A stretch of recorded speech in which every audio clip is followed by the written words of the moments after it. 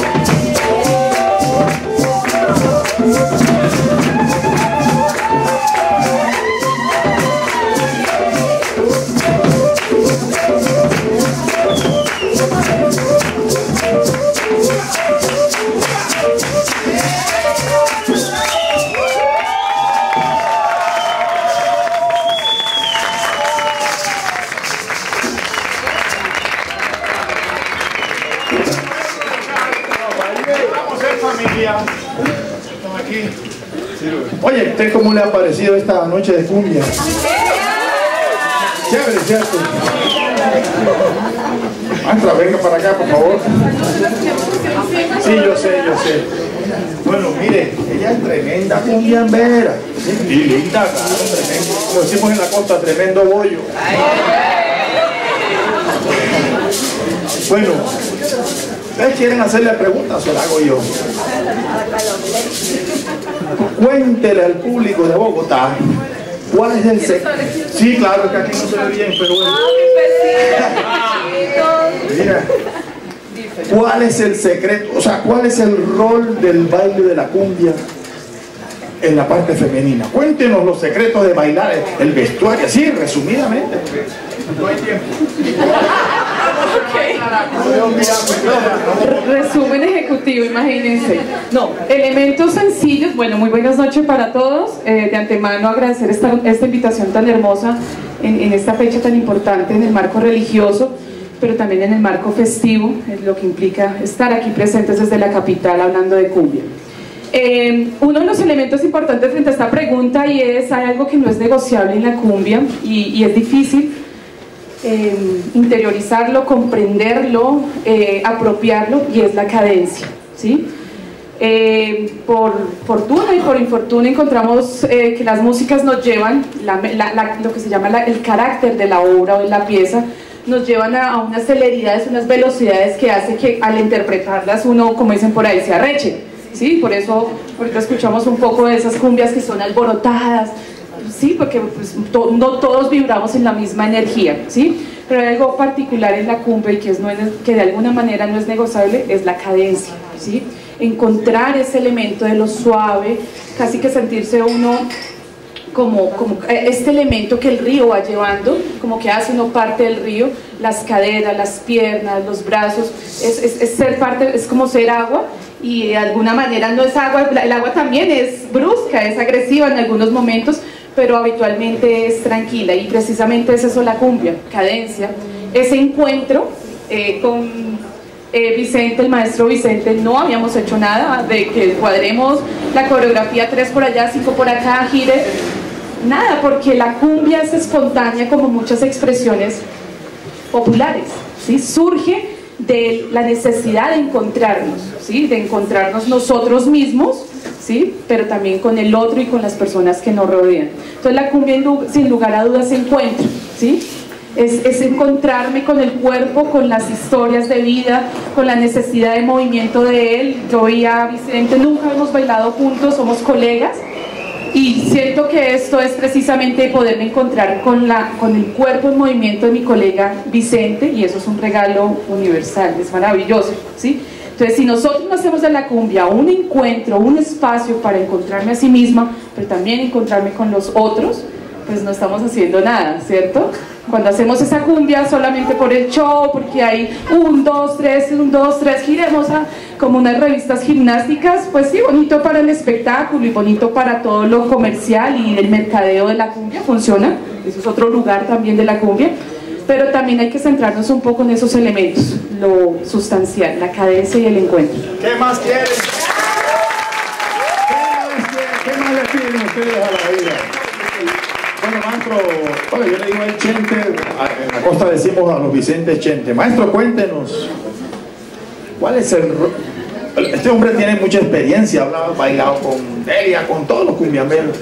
¿Cuál es el rol del hombre en el baile de la cumbia? Cuéntenos un poco así.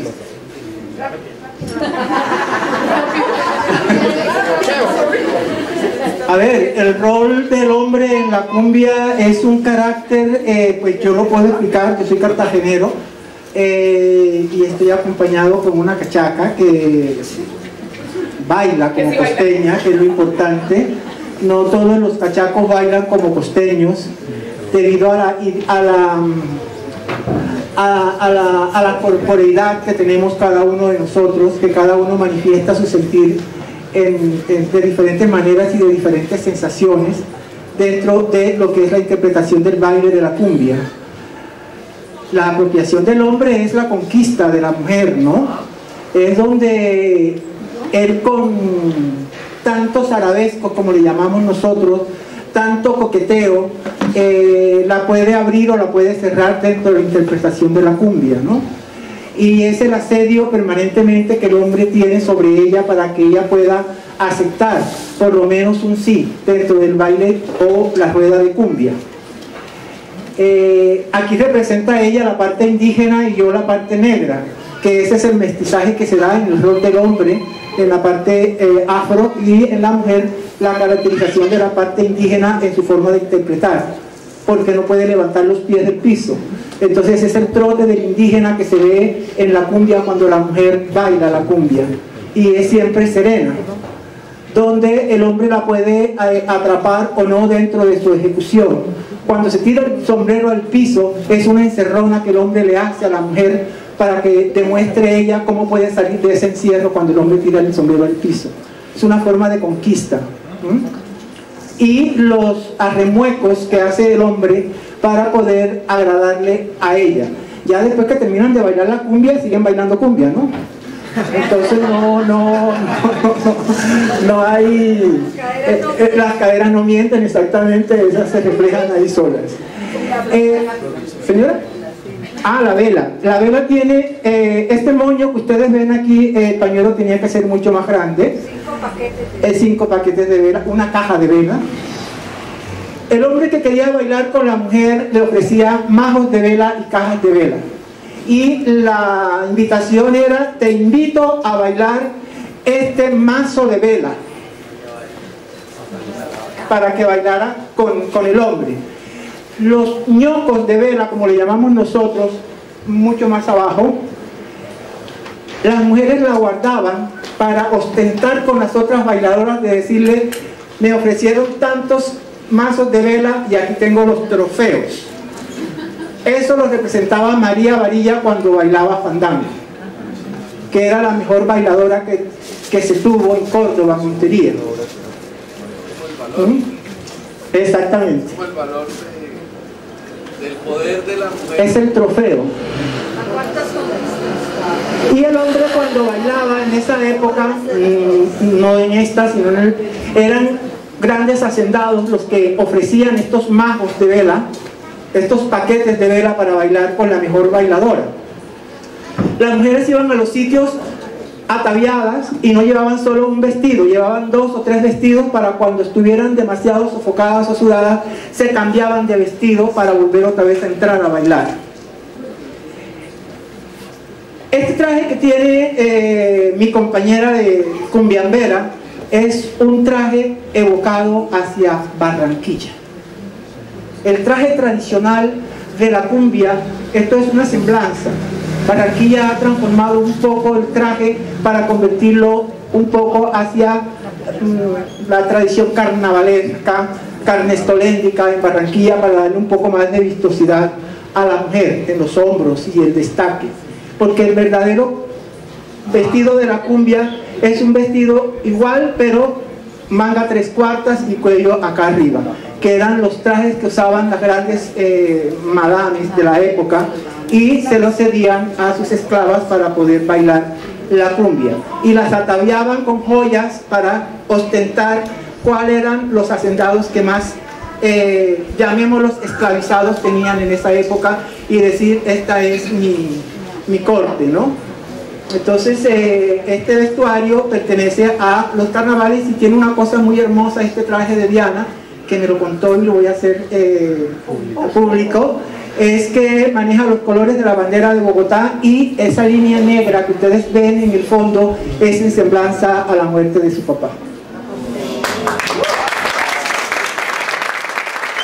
Gracias, ¿eh? gracias.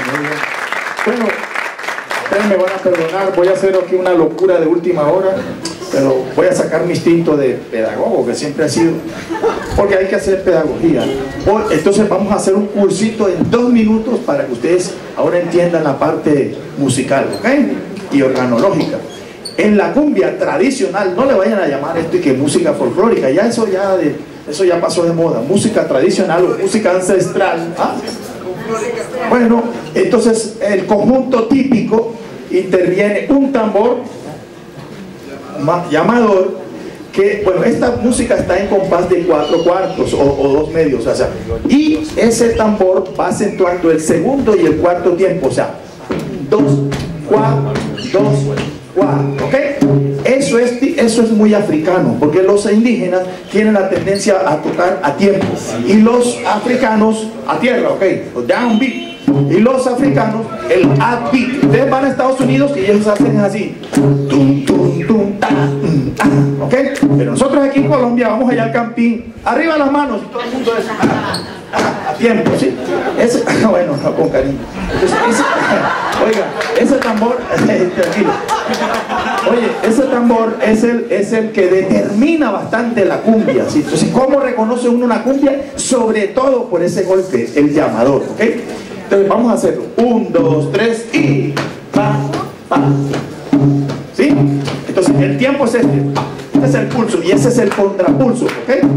Bueno, este tambor que tiene marco, esos dos se llaman alegre. Y bueno, él va alegrando, ¿no? Entonces él va haciendo una base o una marcha, pero también va haciendo unos revuelos, o sea, unos repiques, unas ornamentaciones. Marco, una marcha, Alegre o tambor mayor o tambor. Bueno, también le llaman currulado, en fin, pero bueno, el cariño es igual. Vamos a hacer una, una base de, ah, de llamador y de alegre. Ahora lleven ustedes el curso. Ahí. Miren las maracas, maracas indígenas, como si estuviera haciendo el llamador, ¿no?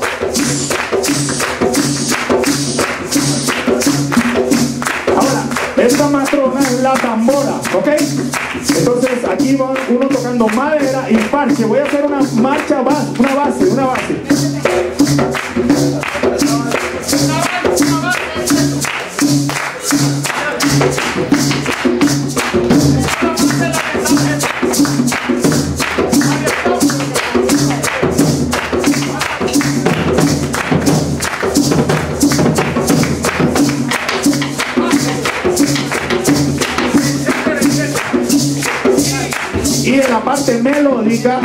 No tenemos hoy millo, flauta de millo, que es lo típico, sino una, unas gaitas, gaitas, sí, gaitas largas, sí, de cartón. Gilbert, a ver. O sea que la cumbia también se toca por gaitas.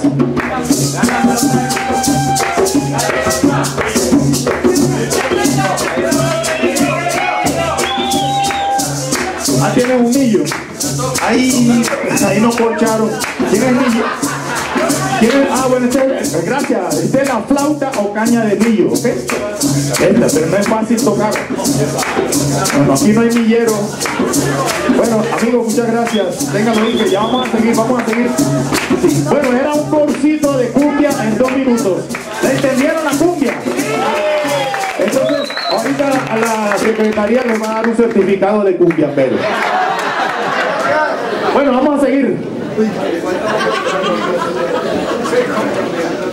Que, que bailen.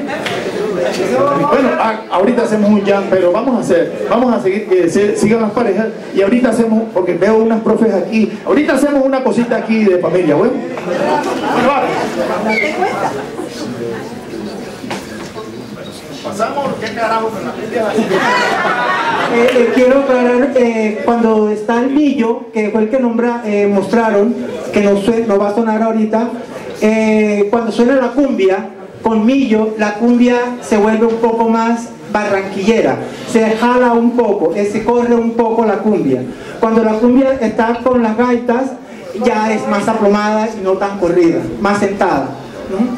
Y ahora vamos a hacer una banqueña donde la mujer no se mueve mucho, el hombre no se zarandea demasiado, ni coquetea tanto, es mucho más plano el movimiento hacia el banco. Entonces se trabaja la cumbia en diferentes regiones de, eh, de la región de la costa caribe, no es igual la cumbia banqueña a la cumbia eh, atlanticense o a la cumbia bolivarense. Son completamente diferentes, pero la marcación es la cumbia siempre. Bueno, y esa va.